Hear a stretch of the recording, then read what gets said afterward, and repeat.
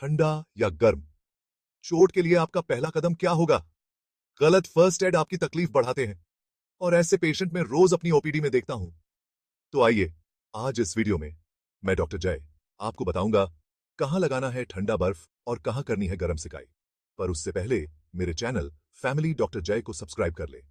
तो चोट लगने पर सबसे पहले हमें यह समझना ज़रूरी है कि चोट किस प्रकार की है। यह जानना महत्वपूर्ण है। क्या यह एक नई चोट है या पुरानी? नई चोटें और पुरानी चोटें अलग अलग प्रकार के उपचार की मांग करती हैं। क्या सूजन है या दर्द ज़्यादा है? सूजन और दर्द की तीव्रता भी उपचार के तरीके को प्रभावित करती है। यह समझकर ही हम यह तय कर सकते हैं कि कोल्ड कंप्रेशन करना है या गर्म सिकाई करनी है। कोल्ड कंप्रेशन, जिसे हम आमतौर पर आइस पैक या ठंडे पानी से करते हैं, चोट के तुरंत बाद बहुत फ़ायदेमंद होता है।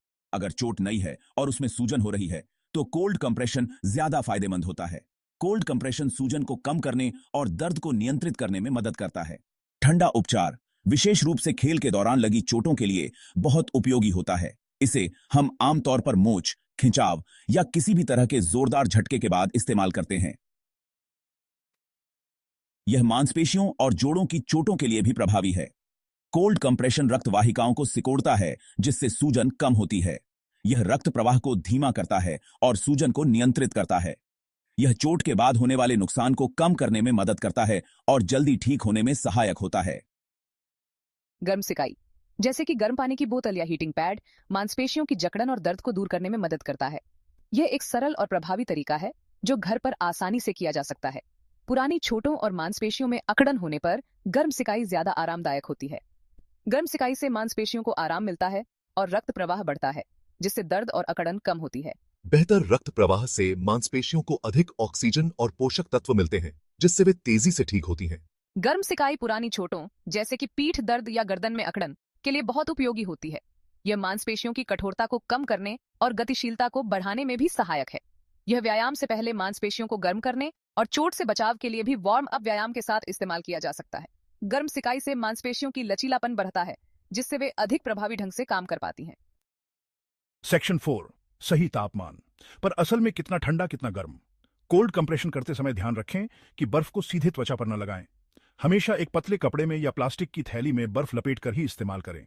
ठंडा उपचार 15 से 20 मिनट से ज़्यादा न करें।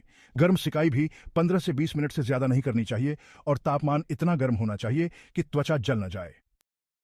सेक्शन पाँच सावधानी। कब नहीं करें ये उपचार। यह जानना महत्वपूर्ण है कि कब ठंडा या गर्म उपचार नहीं करना चाहिए। कुछ स्थितियों में ठंडा या गर्म उपचार हानिकारक हो सकता है। यह उपचार कभी कभी दर्द को बढ़ा सकता है या अन्य समस्याएँ उत्पन्न कर सकता है। जिन लोगों को मधुमेह, रक्त संचार संबंधी समस्याएँ या त्वचा की संवेदनशीलता है, उन्हें ठंडा या गर्म उपचार करने से पहले डॉक्टर से सलाह लेनी चाहिए। यह विशेष रूप से महत्वपूर्ण है। क्योंकि इन स्थितियों में उपचार से जटिलताएँ हो सकती हैं।